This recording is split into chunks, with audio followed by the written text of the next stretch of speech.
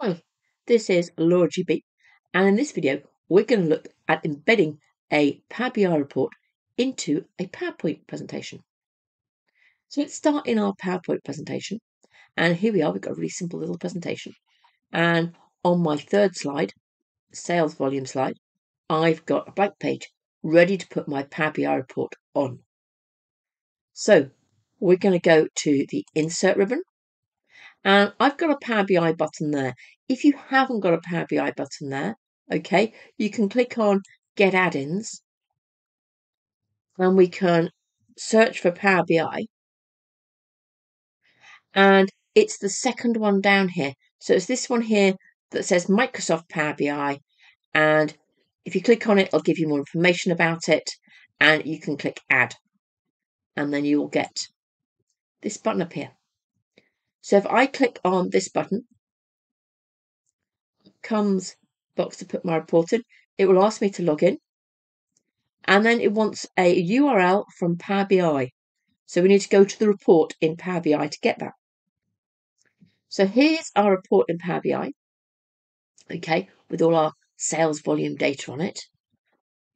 And up on the top here, I've got an export PowerPoint and I'm going to go for embed live data. And we're just going to copy that link, return back to our PowerPoint. And so click into there and paste in my URL. And then I'm going to click insert. And there we are. We've got our report.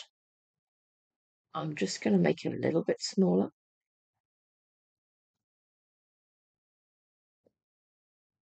And it's, it's just like any other visual inside PowerPoint. You can move it around, you can resize it, etc. Down the bottom here, we've that hyperlink there will take me straight to the report. I've got things I can change on my data options. I can do a refresh. I can come in here and put in some filters. Okay, so I, it reacts I can come into here and I can do a reset to take it back to how it was when it first loaded. And I've got to start over with new data, start over with new items. That's a new Power BI report. Or top right hand corner, I've got another menu that gives me some other options in there. The one that I found a while to find was delete. So if you need to remove it and put something else on that page, that's what you would do. So if you're going to do a slideshow of this presentation, so let's go to the slideshow ribbon and let's go from beginning.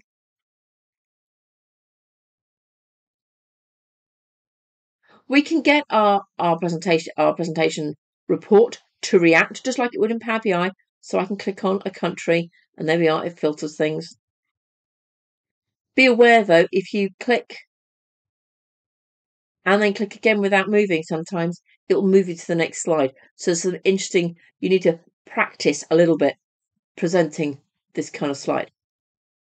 So this was embedding a Power BI report inside PowerPoint. If you haven't already, please press subscribe.